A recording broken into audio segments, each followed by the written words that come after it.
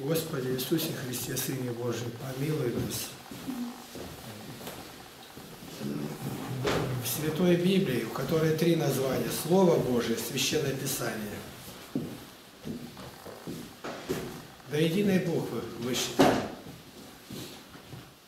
И Господь говорит, ни одна черта, ни одна и йота, по-нашему и кратко, не исчезнет, доколе не исчезнет небо и земля. И нужно вникать в каждое слово. Кто имеет уши слышать, да слышит. Тут объяснять нечего. Если имеешь уши, то и слушай. Иные имеют уши глухонемые. Вот у нас она, и она не слышит. Значит, нужно помочь разъяснить жестами, писать или как-то. Суть-то в том заключается, что мы живем в этом мире, наполненном злыми духами. Люди часто это забывают. Я молюсь Богу, это хорошее дело, но ты помнишь, что рядом с тобой еще другая сила? Иларион Великий, повторяй, и Великий, Василий Великий, с большой буквы. Церковь наградила их этими именами за подвиг. За 19 столетий только 17 человек с этой приставкой «Великий» появились. И он стоял на молитве, монах, руководитель монастыря, и задумался на одну секунду – и дьявол тотчас скочил на спину, как носим ребятишек здесь, ударил его по бокам ногами и говорит, что осл, осел, овса захотел. Секундное замешательство. Поэтому человек, стоящий на молитве, забывает о земном, он устремляется на небо. Но здесь же, рядом, все время находится дьявол. Антоний Великий спрашивает, ты куда идешь? И Макарий это же спрашивал. Храм. Так у нас литургия. Так я иду туда. Ты что, на литургии дьявол бываешь? Он говорит, ни одной литургии без меня нету. Вы заметите, как люди часто, не окончившие, не выслушав проповедь, быстро уходят. Почему? Он бросает цветы, и кому цветок прилипнет, он находит благовидную причину, чтобы не слушать.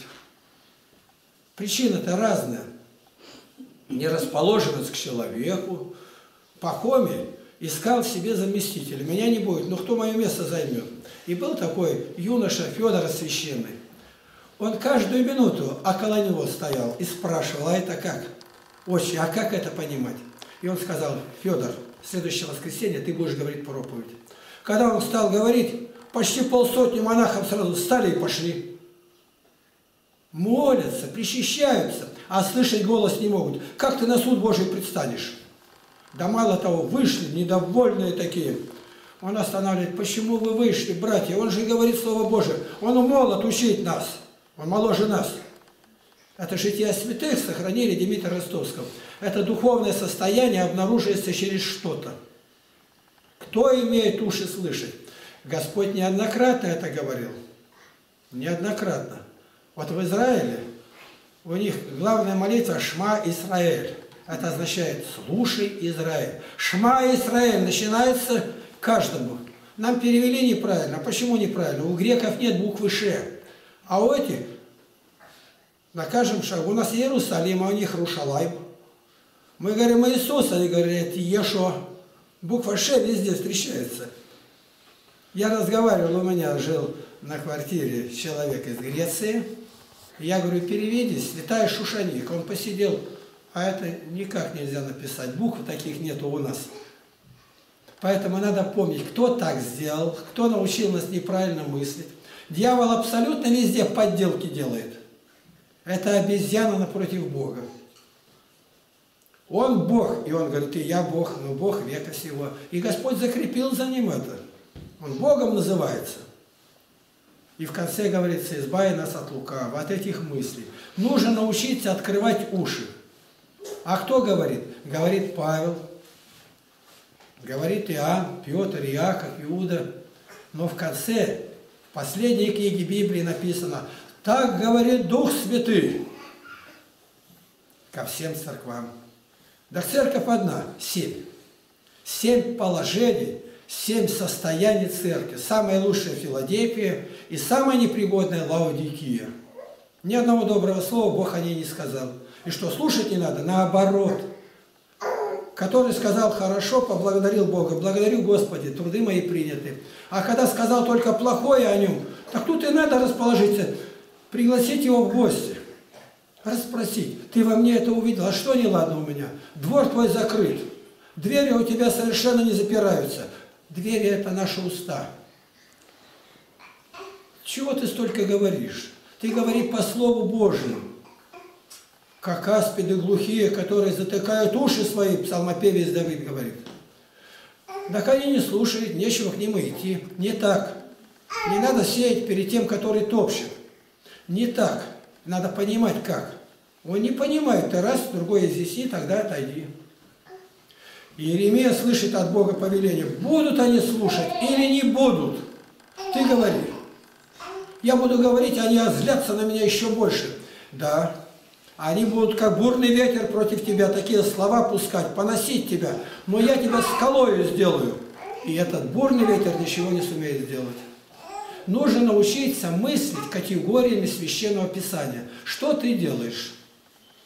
Я что делаю? Ну, у нас на поле урожай, мы убираем его. Прекрасно. Вот и молись целый день.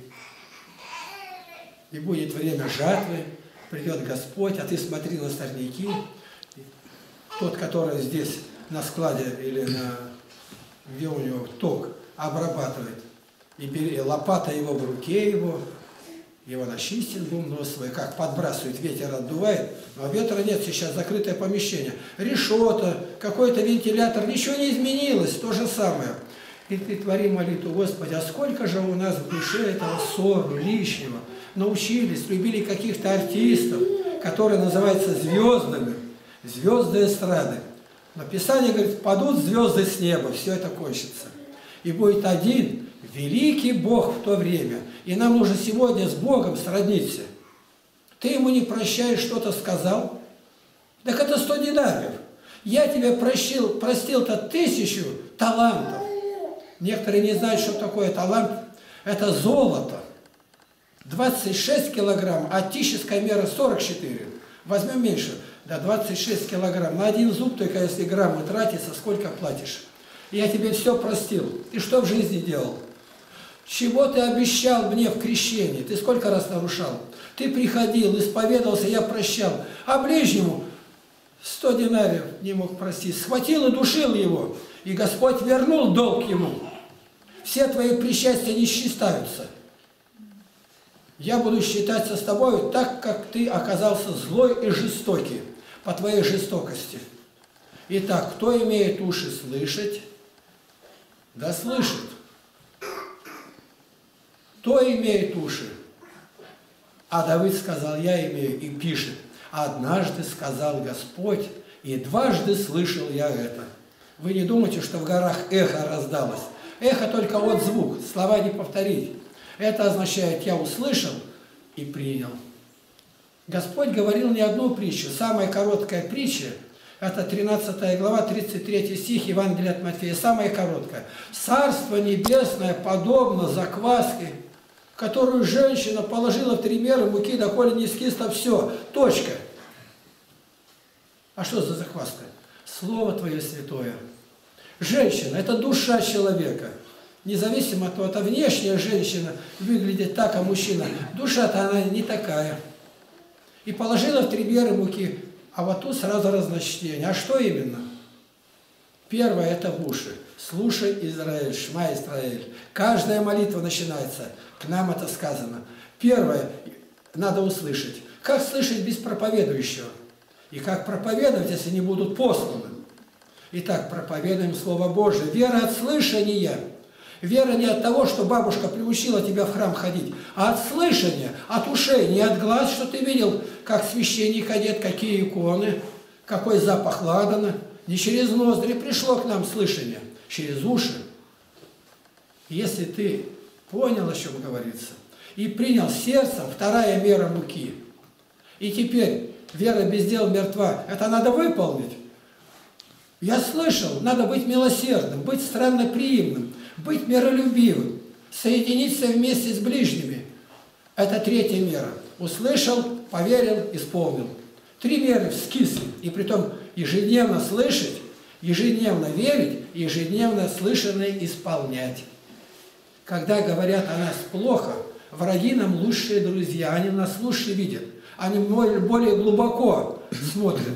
А друзья, они привыкли с нами быть, многие недостатки наши не замечают даже. А посторонний человек, еще не натертым зрением, он прямо хватает и говорит, а как же это у вас так? А я и не думал. А вот наступило время подумать. Итак, кто имеет уши слышать, да слышит. Посмотрите, как дьявол сумел обольстить одну шестую часть Вселенной. Я говорю о Советском Союзе. Христос в гробнице был, сделали мавзолей. Христос лежит мертвый, мертвый. Стража у дверей, тут все время меняется стража. Христос воскресает на третий день. Три дня прошло. Здесь не воскресает. Рассказывает, что там недалеко проходят ассанизаторские трубы, и прорвало, и мавзолей заполнился. И труп плавал. Патриарх Тихон услышал и сказал, по мощам Иелей. То есть какие мощи, такой Иелей. У нас праздник, праздник Рождества Иисуса Христа. У безбожников точно так же. День революции. Мы говорим, надо объединяться всем вместе. Это день Святой Пятидесятницы. Пожалуйста. У безбожников тоже есть 1 мая, объединяющее всех. То есть они полностью все скопировали. Это нам кажется только что. Ну а чего особенного? Я пошел на демонстрацию. Ты вздумай название. Демонстрация. Тут открытым текстом написано, на первом месте демон, а потом страсти, которые показаны. Ходил, видел, другим возвестил об этом. Итак, кто имеет уши слышать? Дух возвещает, не человек, Дух Святой. Если не понимаешь или не понимал, обратись к Богу и скажи, Господи, у меня уши-то есть, а я как бессловесная скотина не могу это понять. Открой, сделай, чтобы пропустить на вторую часть, на сердце, поверить. И третья мера муки, чтобы скисло. И тогда будет подобно Царство Небесное. И в этом мы будем перед Богом. Каждое слово Священного Писания требует молитвы. Чем бы мы ни занимались. Ведь мы за столом сидим время, проводим больше, дольше сидим, чем молитва, которая за стол. У праведников было наоборот. Они заботились о том, чтобы рассмотреть, что положили на стол. Господи, как удивительно все создано. Рассказывает, один жил в горах, никогда ничего не видел, кроме там шиповника да орехов побродил по долине и говорит, Господи, все прекрасно. Ну как же так, большой такой арбуз и где-то на какой-то ниточке висит. Надо бы орехи, большое дерево, а тут на земле уснул под деревом, орех ударил и упал на него. Он говорит, Господи, а как мудро, а если бы висел орех с арбуз, он бы расшиб мне голову. Надо научиться во всем видеть премудрость Божию. И он говорит, очи свои сомкнули и не видят, уши закрыли и не слышат. Когда апостол Павел проповедовал, когда его арестовали, привезли в Рим, иудеи не приняли. И они уже выходили, он сказал, Исаия сказал, ушами услышать, будете слушать и не услышите. И о нем будут великие споры. Сей младенец лежит на падении и восстании многих.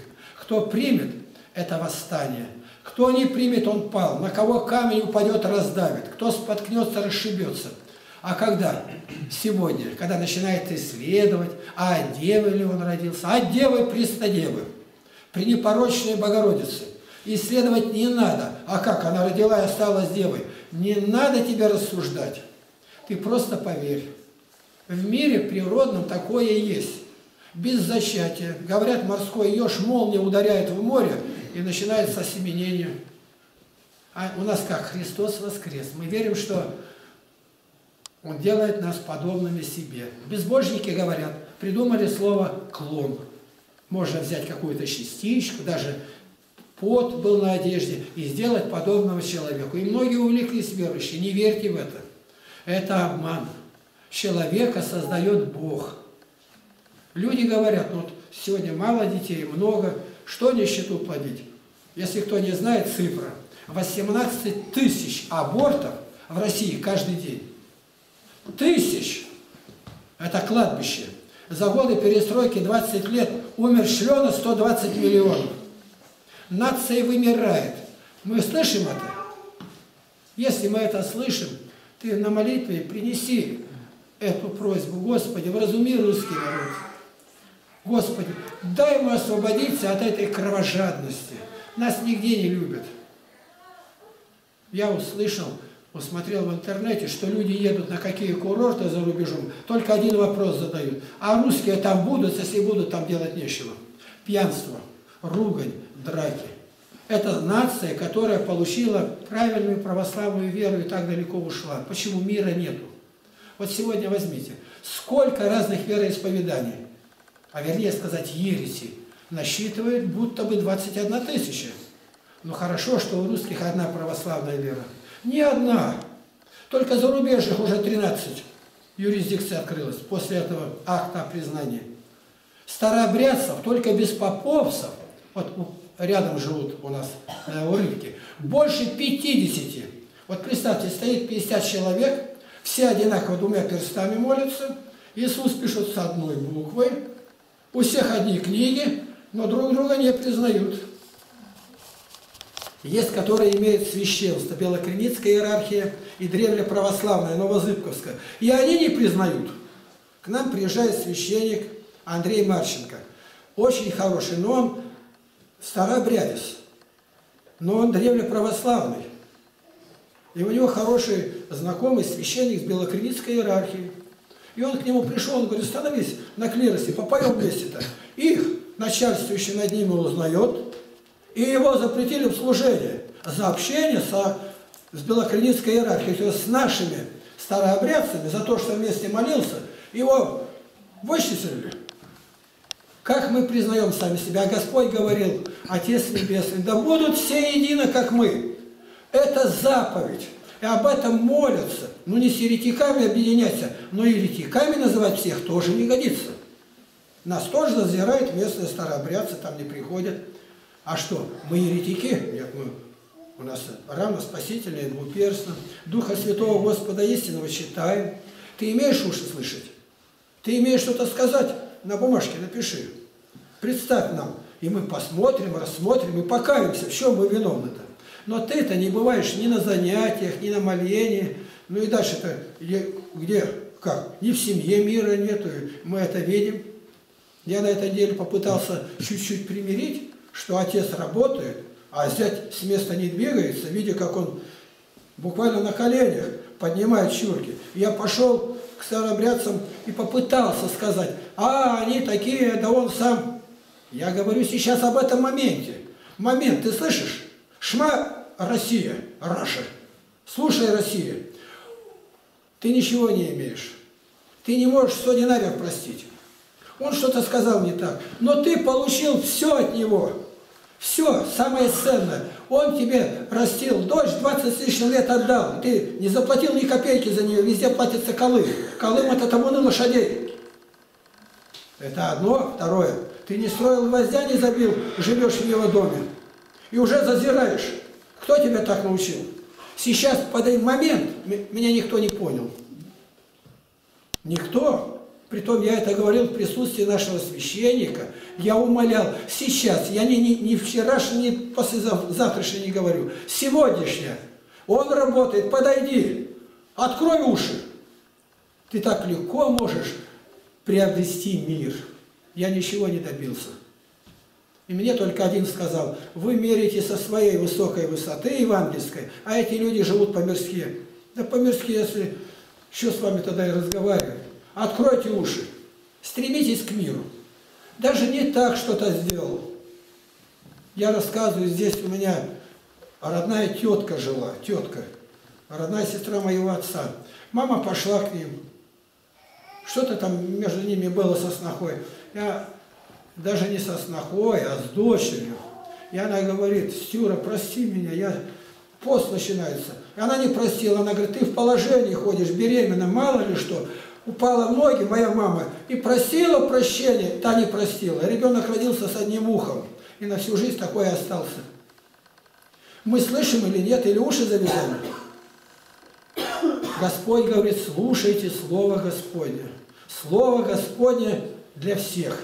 Вот он такой сейчас, заложи в него, чтобы как только Слово Божие зазвучало, он другого толкнул, сказал, слушай внимательно, Господь говорит.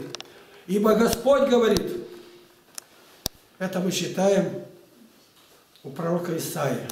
Он посылает его князьям народа и говорит, иди, скажи ему.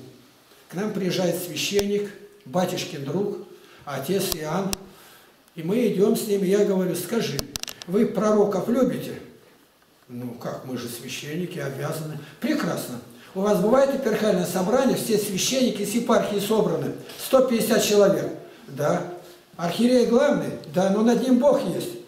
Ну, там секретарь, кого надо, пропустит. И вот заходит к вам человек, вот так вот одетый, я показал там заплаты, и сказал, мне туда, туда нельзя. А он открывает дверь, зашел, как пророк Самуил, и стал обличать, вы князья Содомские и Гоморские. А Содом и Гоморра тысячу лет назад. Он назвал их по делам, их они в Иерусалиме, одетые, в одежде сидят. Вы кто такие?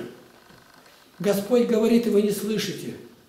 Смотрите, вол знает владетеля своего, осел ясный господина своего, а народ мой Израиль не знает меня. Вот кто вы такие. Вы вчера были на обеде? Я послал нашему, я уж называю нашему архиерею подарок соль, чтобы слово было солью. Слово ваше да будет благодатью, приправленное солью. И пообещали наш подарок отдать. Расслышат или не расслышат. Почему? Потому что много везде наносного, много. Сегодня боятся всего абсолютно. Патриарх Кирилл встретился с папой Франциском. Многие перестали в церковь ходить. Все, антихрист захватил. И они встречаются, поцеловали друг друга и заголовок. Встретились два беса. Это куда же годится? Да Господь нас к этому призывал. Что Он сделал? Благословение принял, и все. Меня спрашивают, я говорю, ничего плохого не сделал. Что католичина уже все везде, бритые священники, крещение как попало, то есть кропят и прочее. Чего вы за это усыпились-то? Вы, наоборот, порадовались. Есть какое-то общение. Да будут едины. Это первая священническая молитва. В семье не ладится где? Близок Господь к тебе, близок. Сделай первый шаг. Златоуст говорит, и вся награда будет твоя. Богу нашему слава во веки веков. Аминь. Аминь.